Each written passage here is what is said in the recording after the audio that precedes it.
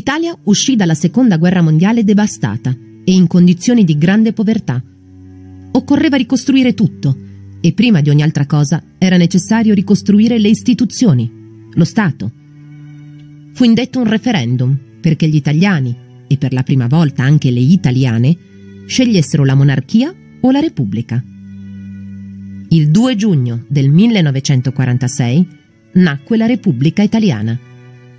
Il referendum decretò anche l'istituzione di un'assemblea costituente per scrivere la nuova Costituzione. Questa entrò in vigore il 1 gennaio 1948. Articolo 1. L'Italia è una repubblica democratica fondata sul lavoro. Così inizia la Costituzione italiana, frutto della collaborazione di tutte le forze politiche antifasciste, unite da un'idea comune di nazione conforme al nuovo spirito dei tempi. La Costituzione è un testo molto bello perché ci insegna a vivere nel rispetto reciproco, nella tolleranza, nella solidarietà. Se un giorno avrete voglia di leggerla, vi consiglio di partire dai primi articoli, quelli che contengono i principi fondamentali. Se pensate al dramma della dittatura appena trascorsa, alle leggi razziali, agli orrori della guerra e all'odio che c'era fra gli stessi italiani, ebbene, troverete la Costituzione un testo commovente, pieno di alti e nobili principi, un testo che ci parla di diritti inviolabili dell'uomo e di pieno sviluppo della persona umana. Un testo che ripudia la guerra e che promuove la cultura, un testo che ci insegna perfino ad amare il nostro paesaggio e a tutelare il nostro patrimonio storico. Nel 1946, il capo del governo italiano Alcide De Gasperi, al tavolo dei negoziati di pace di Parigi, ottiene l'appoggio americano, collocando l'Italia nell'Europa divisa della guerra fredda nell'area di influenza statunitense. Qualche anno dopo, il nostro paese entrerà a far parte della Nato. Alle elezioni politiche del 1948, che elessero il primo Parlamento della Repubblica, il fronte antifascista che aveva governato dalla fine della Seconda Guerra Mondiale si ruppe. Nel corso degli anni 50 e 60 l'Italia vive il cosiddetto miracolo economico. Le infrastrutture, cioè le strade e le ferrovie, vengono ripristinate, la disoccupazione cala progressivamente e l'industria fa grandi progressi. Vengono anche predisposti dei piani per l'edilizia, si vuole consentire a tutti gli italiani, soprattutto a quelli in movimento verso le aree industrializzate, di poter acquistare una casa. E questo quartiere di Bologna, il Pilastro, nasce nel 1962. È il frutto delle politiche per la casa diffuse in quegli anni. E questo, come tanti altri quartieri delle città del nord Italia, accoglie anche numerose famiglie partite dal sud, ancora arretrato, in cerca di una nuova vita in seno al nascente benessere. Purtroppo il fenomeno dell'immigrazione interna resterà a lungo fonte di tensioni generate dal pregiudizio.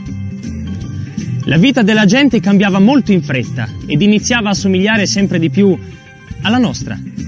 Pensate per esempio alla televisione, che fece la sua comparsa nelle case degli italiani nel 1954. Nel 1954 cominciarono ad andare in onda in Italia le prime trasmissioni televisive. La TV si rivelò un potentissimo strumento di aggregazione e di diffusione di nuovi modelli di vita, ma rappresentò anche un supporto per il superamento di uno dei più gravi problemi del tempo, l'analfabetismo. Seguendo la TV tutti potevano imparare il corretto italiano. Nel 1963 fu attuata inoltre un'importante riforma scolastica con l'istituzione della scuola media unica, obbligatoria ed uguale per tutti. In quegli anni il cambiamento era inarrestabile. Nel 1970 fu introdotta la legge che ammetteva il divorzio. Nel 1975 la riforma del diritto di famiglia stabiliva la parità fra moglie e marito e nel 1978 fu introdotta la legge sull'aborto. Gli anni 60 furono anche gli anni della protesta giovanile. Le nuove generazioni diedero voce ad una protesta sociale e politica. I movimenti studenteschi spesso si affiancarono alle proteste degli operai. Queste tensioni raggiunsero il culmine nell'autunno del 1969. Era il cosiddetto autunno caldo. La mobilitazione operaia scatenò duri scontri e alla fine ottenne alcune importanti garanzie per tutti i lavoratori.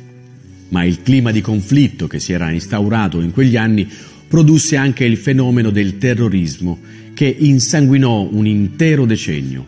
Erano gli anni di piombo.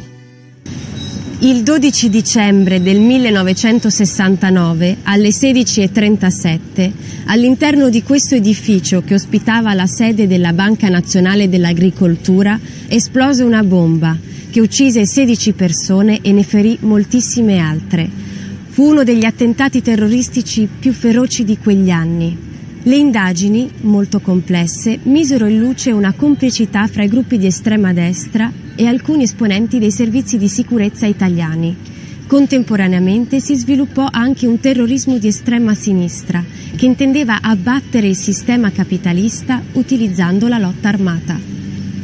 Nel 1978 un gruppo chiamato Brigate Rosse rapì Aldo Moro, che era il presidente della Democrazia Cristiana, il partito di maggioranza. Il rapimento venne realizzato alla vigilia di un accordo che la DC stava stringendo con il PCI, il Partito Comunista, il cosiddetto compromesso storico. Le forze politiche non trattarono con i terroristi e così, dopo una lunga prigionia, Aldo Moro venne assassinato. Ma quello fu un duro colpo per il terrorismo. Lo Stato aveva dimostrato la sua compattezza. Con la conclusione della guerra fredda, alla fine degli anni Ottanta, gli assetti e le prospettive politiche dei partiti cambiarono. In particolare il Partito Comunista si trasformò nel Partito dei Democratici di Sinistra.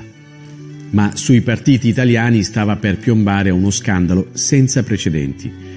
Nei primi anni 90 viene infatti scoperta una fitta trama di illeciti in cui sono coinvolti molti personaggi della politica. Era scoppiata Tangentopoli. Il vuoto politico lasciò più spazio alla criminalità organizzata, alla mafia, alla camorra. Sono stati molti i servitori dello Stato, prefetti, poliziotti, magistrati, carabinieri, che hanno combattuto coraggiosamente la loro lotta contro le mafie, ottenendo risultati eccezionali. Questo servizio costò loro la vita.